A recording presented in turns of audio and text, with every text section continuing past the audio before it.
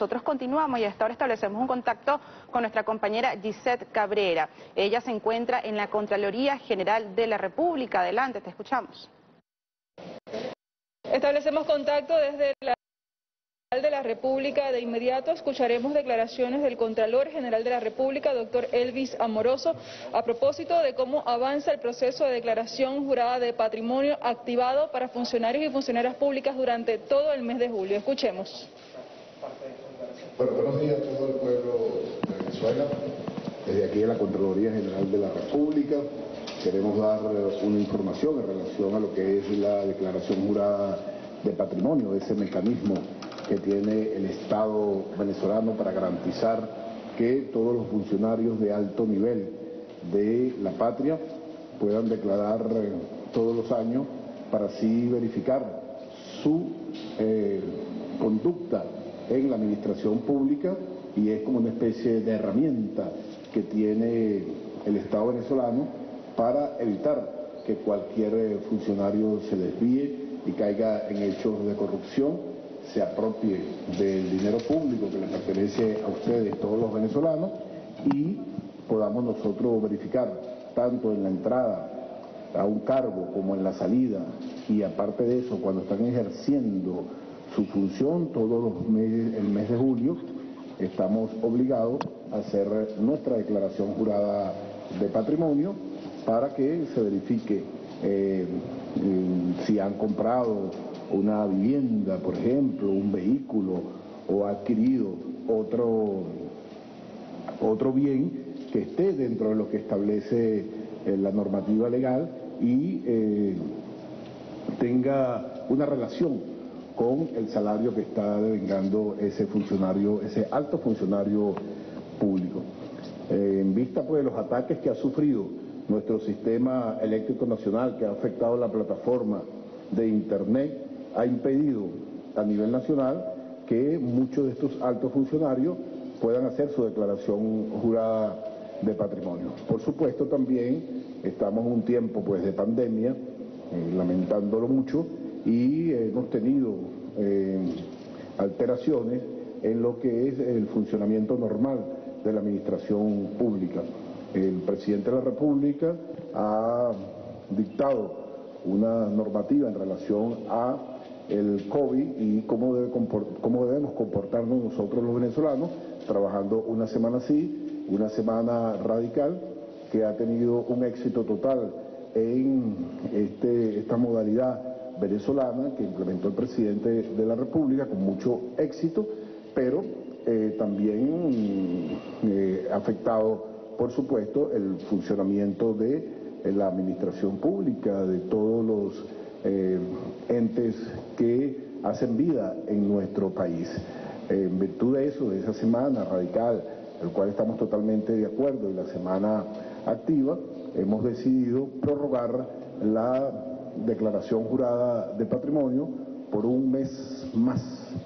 un mes para que todos podamos ponernos en contacto con los funcionarios, aspiramos que se solvente los ataques a nuestras empresas eléctricas, todo lo que tiene que ver con Internet por parte pues del señor Guaidó y su combo que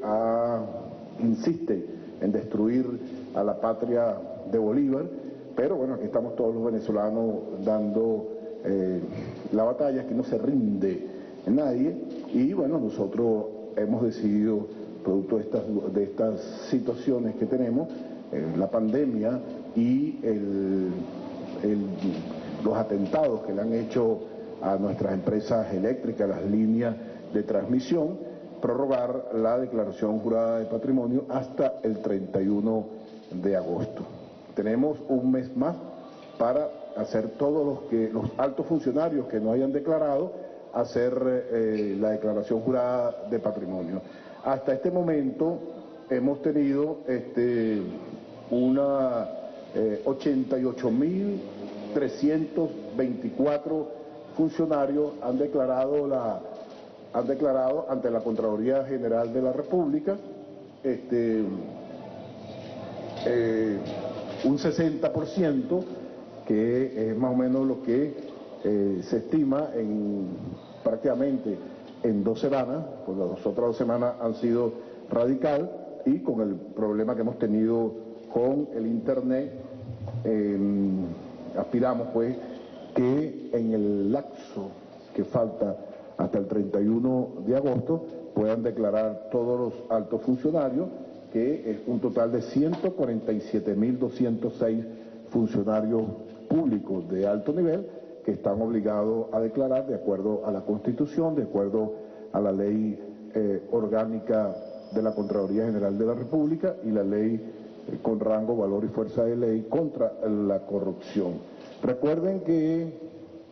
esto acarrea una serie de sanciones que también establece la normativa legal. Entre eso, la inhabilitación para ejercer cargos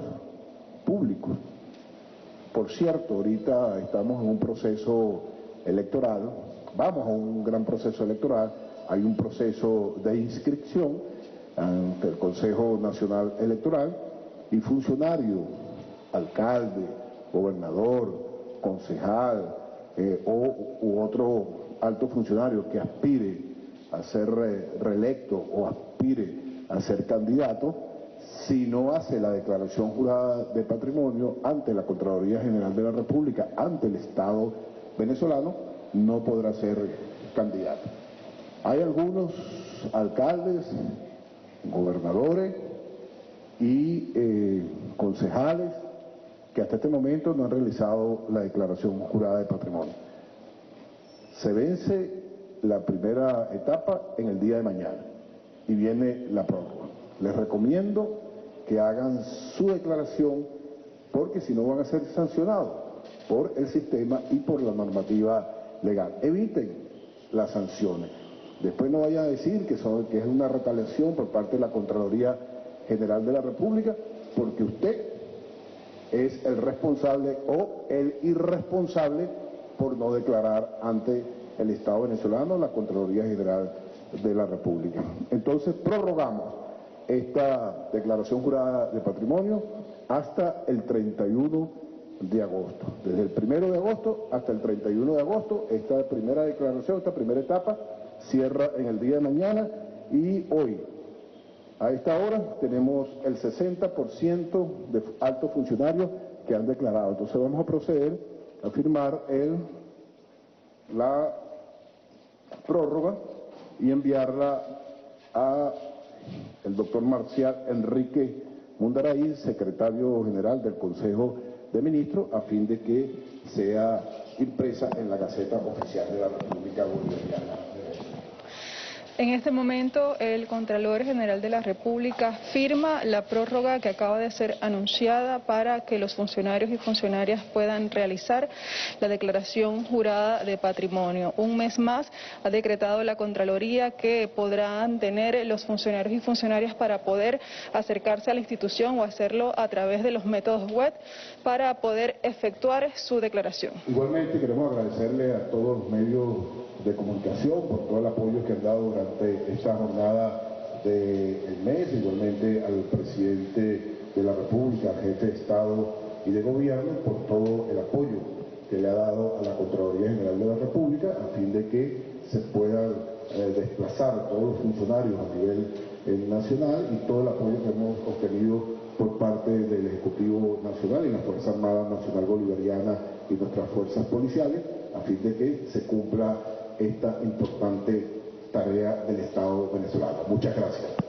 Bien, escuchamos declaraciones del Contralor General de la República, doctor Elvis Amoroso, quien anunciaba al país la prórroga en el periodo que tienen los funcionarios y funcionarias públicas, más de 147 mil, que deben hacer esta declaración ante la Contraloría General de la República como parte de los estatutos que exigen las leyes de la República Bolivariana de Venezuela. También recordó que quienes aspiren a inscribirse, a postular sus nombres a las mega elecciones del 21 de noviembre deben efectuar este proceso ante la Contraloría. De no hacerlo, no podrán hacer efectiva su candidatura a los diferentes cargos de elección que van a ser postulados el 21 de noviembre. Es la información que nosotros podemos compartir con ustedes de la Contraloría General de la República y con esto retornamos el contacto a los estudios de Venezuela.